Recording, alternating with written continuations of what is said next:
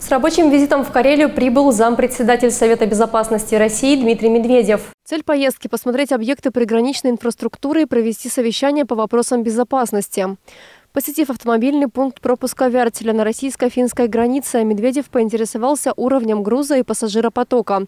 Побывал и в местном отделении погранслужбы ФСБ. Очевидно, что решение о вступлении Финляндии и Швеции в НАТО не укрепляет безопасность региона. А это создает ситуацию, которая для Карелии выражается в том, что самая длинная граница, которая имеется у Карелии с Финляндией, становится границей Российской Федерации э, с НАТО. Уверен, что мы сможем защитить наши интересы, защитить интересы нашей страны, обеспечить ее безопасность, обеспечить безопасность граждан нашей страны э, необходимыми средствами.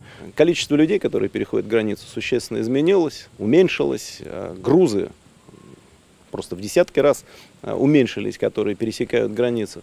Вот. Но я уверен, что рано или поздно товарооборот все равно будет восстанавливаться, потому что экономика все равно в конечном счете а, побеждает всякого рода политические соображения. Как быстро это произойдет, я не знаю, но мы в любом случае должны и этот период а, потратить на то, чтобы в максимальной степени способствовать развитию Карелии и других наших территорий, которые так или иначе соприкасаются вот с новыми э, участниками Североатлантического альянса. Подробнее о визите расскажем в следующих выпусках новостей.